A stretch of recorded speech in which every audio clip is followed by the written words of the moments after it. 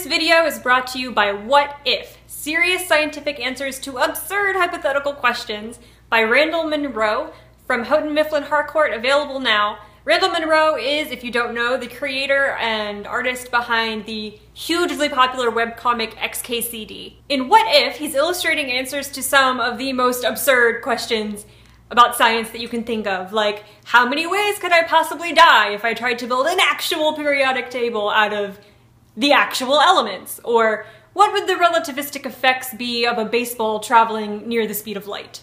The illustrated answers are witty, gleefully into science, deeply researched, and the book itself is a great gift for existing fans of XKCD or for anyone who is into science, hypothetical, and exploring the absurd.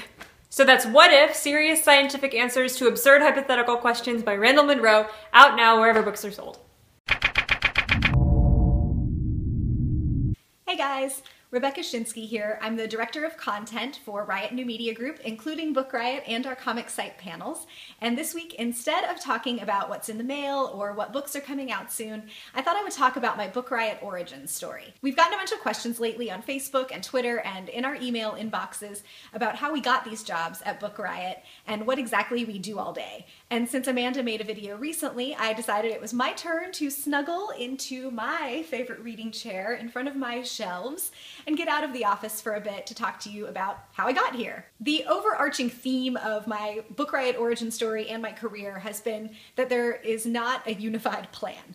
I wish that I could say that I sat down five years ago and dreamed up this kind of job and then came up with a bunch of strategic steps that I could take to get it and then did them and then got the job and poof, that's done. But it's not nearly that neat or exciting, really, of a story. And I think that with most jobs, that's the truth. It's really about day to day work and improvement and being lucky and qualified and in the right place at the right time. You don't know that a thing is going to be life changing until it already is, or at least I don't know that a thing is going to be life changing until it already is. So the, the exact order in which things happened is hazy to me. Dates are a little hazy, how long I did one task before I did another one. Um, I don't really know those specifics, but I can give you a general picture. I started blogging about books in the middle of 2008 when I had been just sort of starting to discover that that was a thing people were doing. At the time, I was working for Barnes & Noble doing some event planning and a local author came into my store with a flyer for her book asking if she could do an event.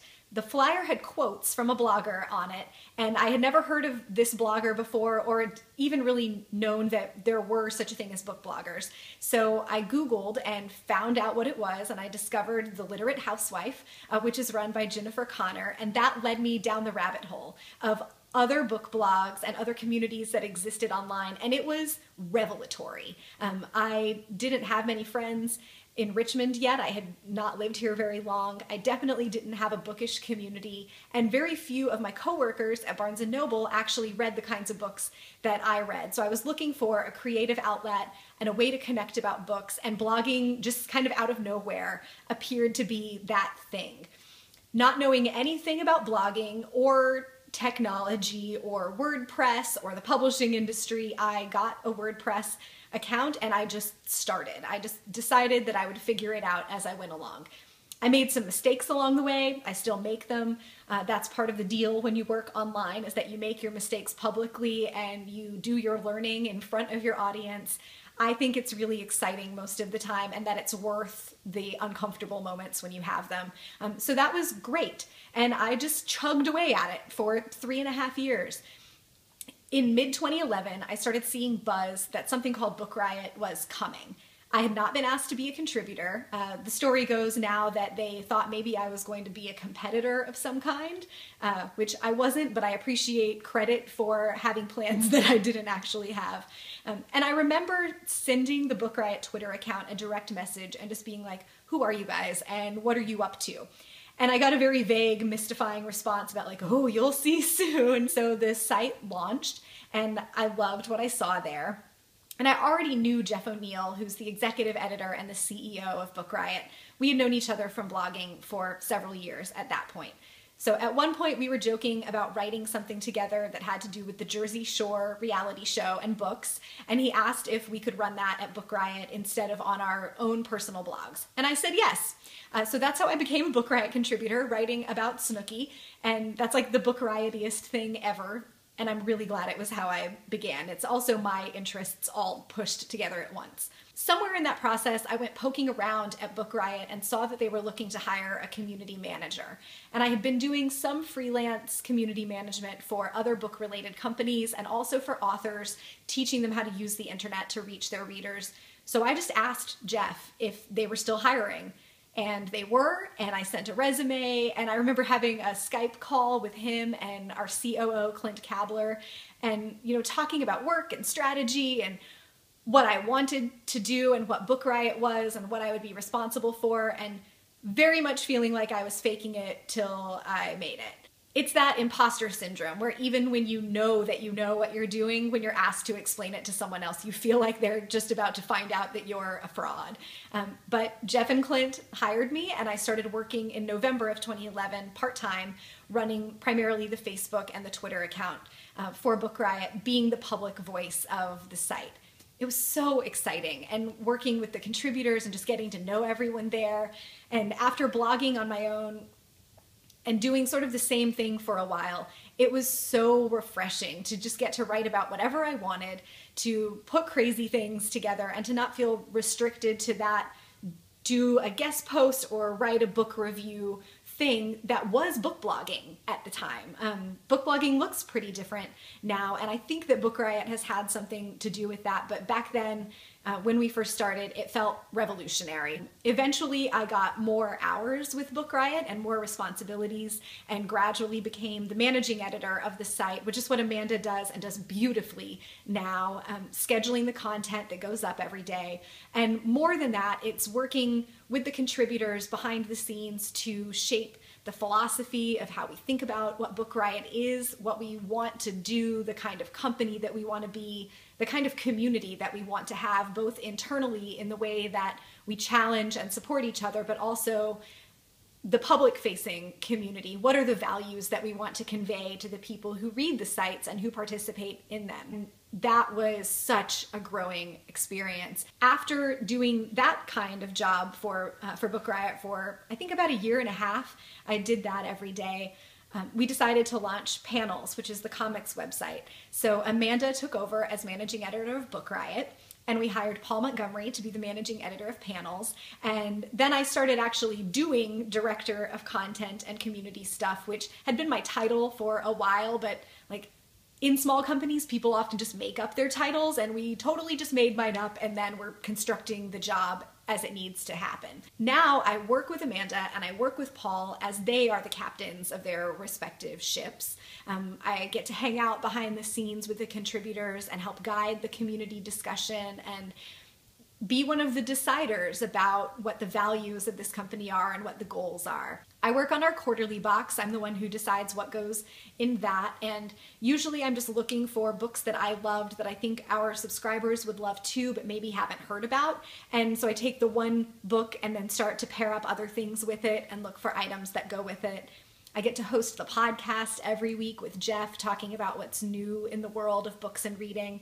And it's been so fun uh, to hear from listeners of that. It also feels like a huge privilege that people trust us to make something good and interesting and they put us in their ears for an hour every week. Um, that just blows my mind. We have Book Riot Live, which is our first event coming up in the fall, and I'm doing some of the work on that. I also do a bunch of work on the business side of Book Riot now, which is a thing I never would have anticipated. You know, there's all sorts of unglamorous but necessary pieces that go into making the thing you see when you come to Book Riot. And so when people email me and say like, "Oh, your job must be so fun. You must just love it." That's true. I do. I love my job and the people are incredible and so much of my job is fun. But my days are like most people's days. I have a, you know, administrative tasks to take care of. Um, I've got fires to put out. Unexpected stuff goes wrong, and you scramble to fix it and just hope that you don't do very much damage. I joke that my job is different every six months, but it really is. The, the way that a small company develops and grows is so fast that there's always something new um, and always some challenge for me to take on. And that keeps me really interested and engaged. I love that I don't know what my job is going to look like a year from now, and I really couldn't guess what it's going to be like five years from now. I think a lot of the people who do send the questions about the origin story aren't necessarily asking how I got here so much as they're asking how they could get here. And I wish that I had a good answer for that, but I don't. I don't think that this path could be duplicated. I definitely didn't come up with it in advance. And I don't know that this path will be possible for someone else. Um, as Amanda continues to do her work with Book Riot, she'll move into something else, but we don't know what that's going to be yet. If you want to work with Book Riot, the best thing to do is to first become a contributor. We hire from within, so look for information that'll come out later in the spring about how to become a contributor. And what we're looking for are those voices that are new and different and interesting, that are talking about books in the way that Book Riot talks and thinks about books, but that add something to our community. So apply for the site, submit work that you think makes you stand out, and I guess really just cross your fingers then. Um, we get a, a ton of applications and we take very few of them, so it's also about you know being prepared but being lucky. If you just want a job like this job, I think it's the same thing. Find your literary community, whatever that means to you, and then find what you're good at within that community and develop your skills there. Get even better. And then you'll have opportunities to expand those skills into new areas and say yes to those opportunities. I'm just going to quote a bunch of pop culture. Luck favors the prepared has been one big part of of my career, and the other part is the Amy Poehler yes please philosophy of um, when a new challenge gets thrown at you, just say yes and figure it out on your way. So if you want a job like this, I think it's um, it's great to know you're passionate about books, but I don't subscribe to the school of find your passion and then figure out a job that you can shoehorn your passion into. Um, get involved in a literary community, do work that you're interested in and get better and better and better at that work and look for opportunities.